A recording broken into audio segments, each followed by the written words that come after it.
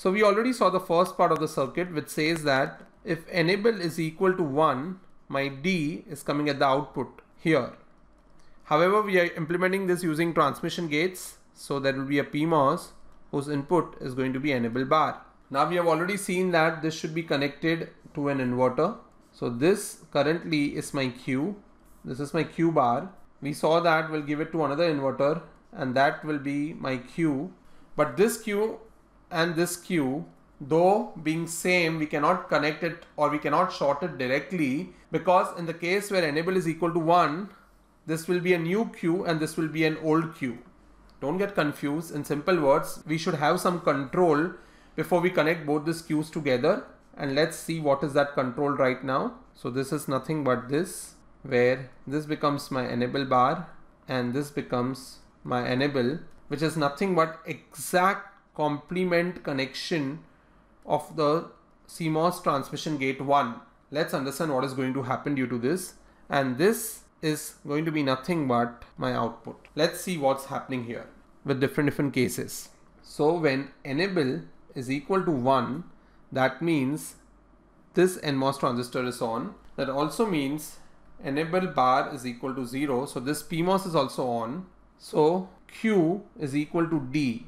At the same time, inverter 1 will be producing Q bar which is equal to D bar. So this is correct, this is correct. Inverter 2 will produce an output which is equal to Q. So I got my same Q. So Q, this is on, this is Q, this is Q bar and this is Q.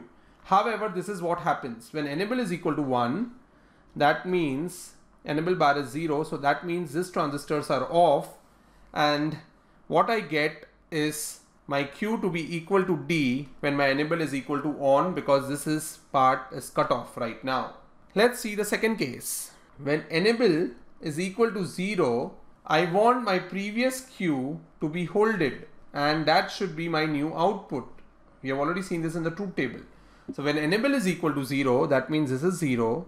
Enable bar is 1, that means these transistors are off. So no effect of D will be seen. This Q, which might or which could have lost its value due to charge leakage now in the previous cycle only has become q bar which we already saw. So q had become q bar and then it had also become q again with another inverter and now because enable is equal to 0 and enable bar is 1 this transistor is on and this Q will be retained and we pass the output so the value is hold correctly. In simple words, what we have done is we have connected a transmission gate with a phenomena that the output is equal to the input when enable is high. We also connected an inverter to get the complement of the output which is Q bar. Now we again connected another inverter which is nothing but back-to-back -back inverters to get the original value of Q and pass it through a control so that no problems of charge leakage or charge sharing can destroy the value and it can hold its value. So this is nothing but a D latch using transmission gates.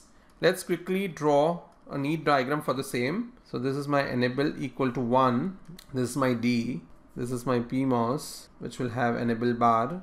Enable can be replaced by a clock also.